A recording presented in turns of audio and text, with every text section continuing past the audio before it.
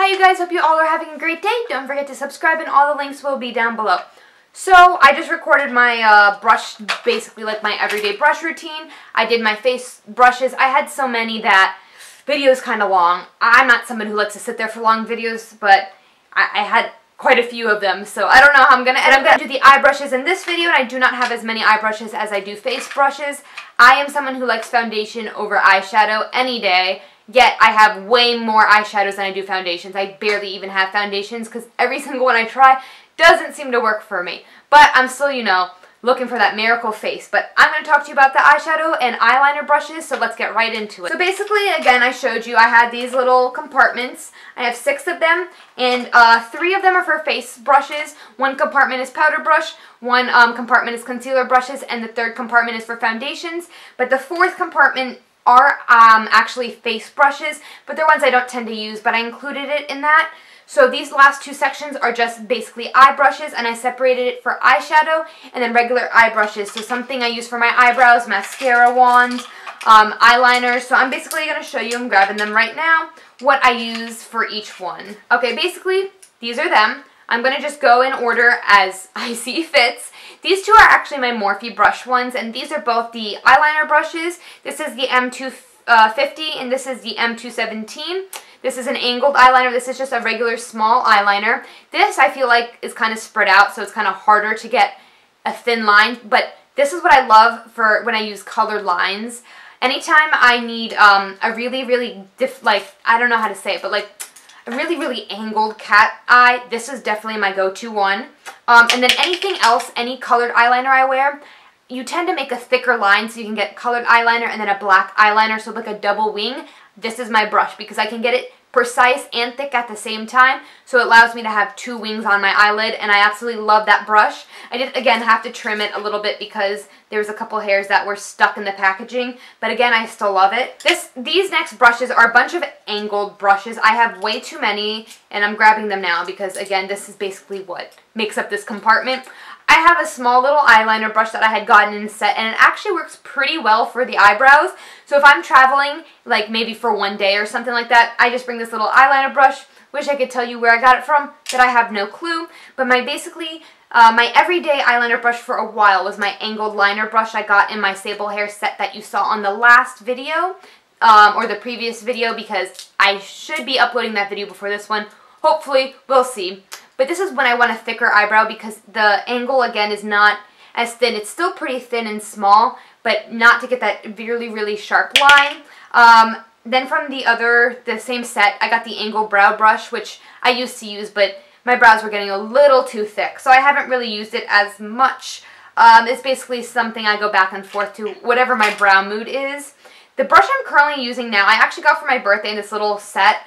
I don't know where the set was from, but it, the way it's like curved is so interesting that I, I don't know, I've been using it for my brows and this is my favorite brush for my brows. I want to say it's like a this one of these Forever 21 kit that I got from one of my friends that it's, I mean, makeup brushes from Forever 21 you wouldn't think are the best, but I actually really, really like this brush. I was quite surprised.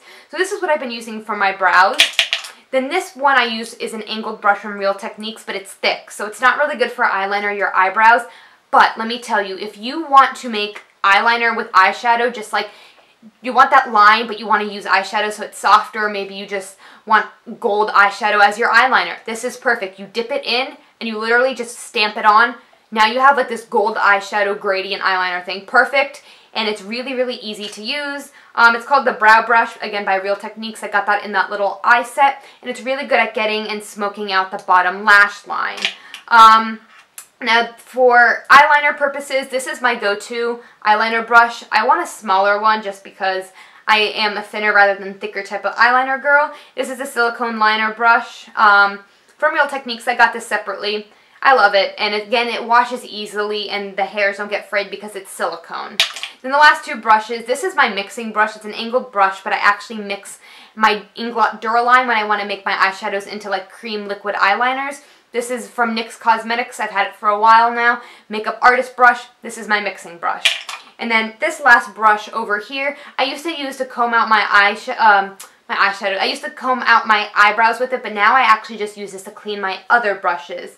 Um, I don't know, it's not like very small enough to actually get all my hairs, and it comes with an angled brush on the other end, and I got this from Mary Kay. The last two brushes for this set, this one is an eyeliner brush that I got from um, the Sable Hair Set brush, another colored eyeliner one. I actually use it with my Morphe cream eyeliner, and I've been unable to get that out of this brush, no matter how hard I wash it or what I wash it with. So this is kind of just floating around until I can actually get something to get that cream eyeliner off that brush. And then this is the last brush, and this is my mascara brush. And I don't use it in mascara, I use it to separate my eyelashes.